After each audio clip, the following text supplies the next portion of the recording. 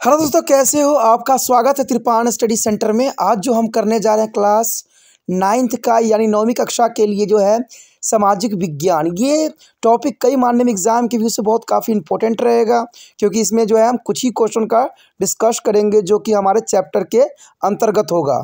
ठीक है? और ये आपके लिए इम्पोर्टेंट इसलिए भी रहेगा, क्योंकि ये हिंदी, इंग्लिश दोनों माध्यम में समझाया जाएगा। ठीक है? जैसे कि मैंने आपको हर वीडियो में बोला है कि सम एग्ज़ाम के समय में आपके लिए इम्पोर्टेंट क्वेश्चन डालूँगा? तो वो जो है वादा पूरा करने का समय है। तो चलिए देखते हैं हमारा आज पहला क्वेश्चन क्या है। Fill in five courses of deforestation in India under the colonialism rule that is the most most important question या explain any five cases of deforestation in India under colonialism rules the first point is the most important here population increase the demand for a food want up there is a most most important here a population increasing and demand for food went up. There is a reason why defloration of the forest. And the second point here uh, british encourage the production of the commercially crop. There is a most important here uh, raw material is produced. There britisher encourage the production of the commercially crop. There is a most most important point here and third point is also important. Forest where is a up is a productive. There is a unproductive here. Forest where a unproductive.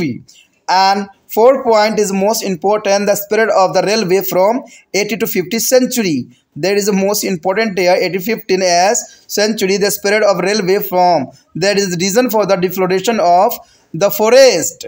And the four, five, fifth year by the early 19th century Oaks forests in the England were disappearing. This is a create a problem for a timber a supply for the Royal Navy. There is a most most important point here. There is a defloration of India by the early 19th century. Oaks forests in England were disappearing and this is create of problems of a timber supply for the Royal Navy. This point is the most important here. Emergence of plantation. There is a most important here of five causing of defloration in India under two canonical rules. There is a most most important point of population increasing the demand of food and the British encouraged to the production of the commercial crop, forest bearer up productivity and the spirit of railway formed in 15th and the early 19th century oak forest uh, England is disappearing. There is a most important point discussing here. Note down your notebook. There is a most most important point here. यहाँ पर जैसे हमारे समक्ष आया है अंतिम question जो कि अपनी महत्ता के साथ दर्शा रहा है कि उपनिवेशित शासन के तहत भारत में जो है वनों का उन्मूलन किन्हीं पाँच कारणों की आपने बताना है कि क्या भारत में उपनिवेशित शासन के तहत भारत में वनों का उन्मूलन क्यों किया गया? और वनों का उन्मूलन से जो है क्या प्रभाव पड़ा?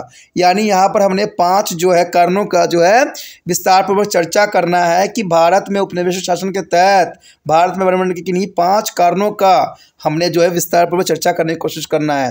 देखिए अगर आप एग्ज़ाम में पॉइंट व्यू आंसर देते हो तो एग्जामिनर बहुत खुश होता है और आपको जितने नंबर होंगे, पाँच क्वेश्चन होंगे पाँच नंबर के होंगे और पाँच पॉइंट आप दर्शाते हो तो पाँच मार्क्स जो है आसानी से दे देते हैं। ठीक है, अगर उसी को पैराग्राफ के रूप में लिखते हो तो थोड़ा सा जो है एग्जामिनर को कन्फ्यूज़ होता है और वो उसको पॉइंट नहीं दिख पाता है, जिसकी वजह से जो है आपको नंबर जो है उसी हिसाब से वो देगा। तो इसीलिए आप जितना हो सके संभता हो, जिस क्वेश्चन को आपकी समझ हो, उसमें पॉइंट ही दर्शाओ तो ये काफ़ी आपके लिए महत्वपूर्ण रहेगा। जैसे कि यहाँ पर भी मैंने पाँच पॉइंट लिया है बेशकली क्वेश्चन बहुत बड़ी इंपॉर्टेंट है, लेकिन फिर भी यहाँ पाँच पॉइंट जो है बहुत साधारण है। अगर हम पहली बात करें, अगर उपनिवेश शासन के तहत भारत में बने उन्होंने कारण क्या था तो सबसे बड़ी बात तो यही आती है कि जनसंख्या बढ़ना और भोजन की मांग बढ़ेगी। जनरल सी बात है, जब जनसंख्या बढ़ेगी, भोजन की मांग बढ़ेगी तो वनों का काटना स्वाभाविक बात बन जाती है।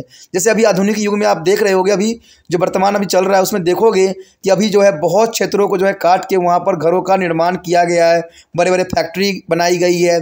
तो अभी वनों का जो है, बहुत मात्रा में काट दी गई है। तो ये कहते हैं, अंग्रेज़ों के समय क्या, आज के समय भी हो रहा है तो इसमें जनरल सी बात है, जनसंख्या जैसे बढ़ेगी, वैसे ही भोजन की मांग भी बढ़ेगी, और उसी तरह से जो है वनों का कटना, कटे जाना, स्वाभाविक बात रहेगी। दूसरी बात यही आती है कि अंग्रेज़ों ने जो है वर्जनिक फ़सलों के उत्पादन को प्रोत्साहित किया। हमने कई क्वेश्चनों में डिस्कस इस बात पर किया था कि भारत में वनों का काटने का सबसे बड़ा कारण ये था कि यहाँ से जो है अंग्रेज़ जो है फ़सलों में वर्जनिक कृषि करवाना चाहते थे, जो कि कच्चे माल के रूप में, वो अपने देश में उसके उत्पादन के रूप में बनाने थे।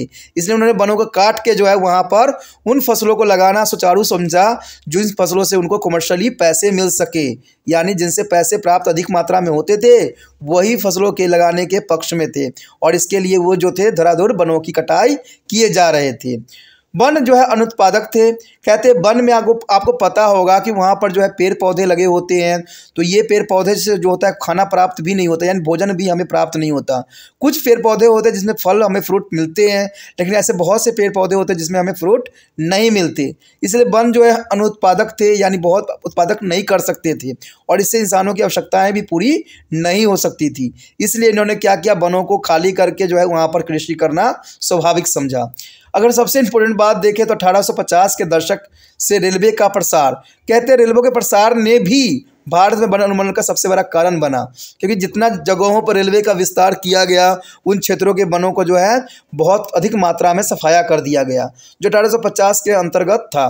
कहते हैं उन्नीसवीं शताब्दी के आरंभ तक इंग्लैंड में ओका के जंगल गायब हो रहे थे, यानी ओका के जंगल बिल्कुल ही कट चुके थे इंग्लैंड में।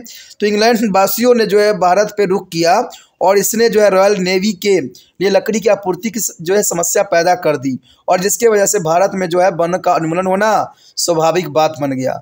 तो कहते हैं, जब इंग्लैंड में जंगलों गायब होने लगे ओका ट्री ख़त्म हो गई तो उन्नीसवीं शताब्दी में जो है अंग्रेज़ भारत की तरफ़ रुख किए।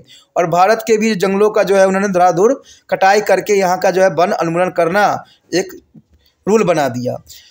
तीसरे, अगर आखिरी पॉइंट की हम बात करें, जो इसमें बहुत इंपॉर्टेंट है कि वृक्ष रोपण का उद्भव। कहते हैं वृक्ष रोपण का उद्भव भी उस समय हुई जो कि काफ़ी इम्पोर्टेंट था।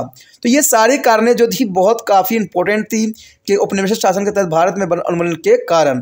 तो इसे जो है आप अच्छे से नोट कर लीजिए, बहुत आसान पॉइंट है। जिसको याद करना भी आपके लिए बहुत ही आसान हो जाएगा। देखिए दोस्तों, अगर याद नहीं कीजिएगा तो वो आपके माइंड में जाएगा नहीं और वो आपका होगा भी नहीं। ये सिर्फ़ इस मोबाइल में ही रह जाएगा या यहाँ पर ही रह जाएगा, मेरे पास ही रह जाएगा। आपको इस ज्ञान का जो है प्राप्ति नहीं होगा।